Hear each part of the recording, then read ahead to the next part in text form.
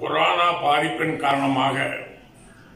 சிறு குறு தொழிற்சாலைகளுக்கு நேரடியாக மின்வாரிய ஊழியர்கள் வந்து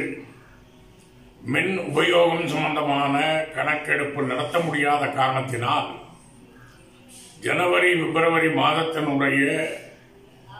கட்டப்பட்ட மின் கட்டணத்தையே திரும்பவும் மே ஆறாம் தேதி கட்டலாம் என்ற சலுகையை போலே அறிவித்திருக்கிறார்கள். ஜனவரி பிப்ரவரி இரண்டு மாதத்தில் எந்த தடையும் இல்லாமல் செயல்பட்ட காலத்தில் கட்டப்பட்ட மின்கட்டணத்தை மார்ச் இருபத்தி அஞ்சாம் தேதியிலே இருந்து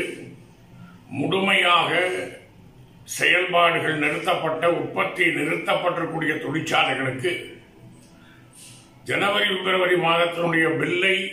அதே போலே திரும்ப கட்டுங்கள் என்று அறிவிப்பது அறிவித்திருப்பது என்பது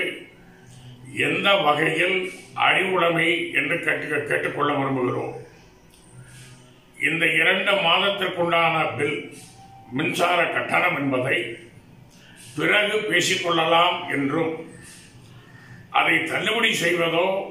அல்லது தவணை முறையில் கட்டுவது என்பதோ பிறகு பேசிக்கொள்ளலாம் என்று அறிவிப்பதுதான் சாலச் சிறந்ததாக இருக்குமே தவிர இவ்வளவு கடுமையான நெருக்கடியில் தொழில்கள் செயல்படாத போது எந்த வருமானமும் இல்லாமல் இருக்கிற நிலையில் பழைய கட்டணங்களையே திரும்ப கட்டுங்கள் என்று அறிவிப்பது உடனடியாக திரும்ப பெற வேண்டும் என்று அந்த அறிவிப்பை திரும்ப பெற வேண்டும் என்று கேட்டுக்கொள்கிறோம். மாண்புமிகு மின்துறை அமைச்சருக்கு கோவையினுடைய சிறு குறு தொழில்கள்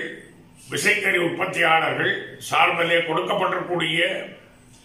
அந்த கவ கவன ஈர்ப்பு விஷயத்தை நாடாளுமன்ற உறுப்பினர் என்ற முறையில் நானும் மின்துறை அமைச்சர் அவர்களுடைய கவனத்திற்கு இதை கொண்டு வந்து இந்த இரண்டு மாத மின் கட்டணம் என்பதை பிறகு பேசி தள்ளுபடி செய்வதோ அல்லது இவற்றை தவணை முறையிலே செலுத்துவதோ என்பதை பிறகு தீர்மானிக்கலாம் என்ற வகையில் கடிதம் அனுப்பப்பட்டிருக்கிறது. ஆகவே உடனடியாக மாநில அரசாங்கம் கவனத்தை எடுத்துக்கொண்டு இந்த விஷயத்தில் தலையிட்டு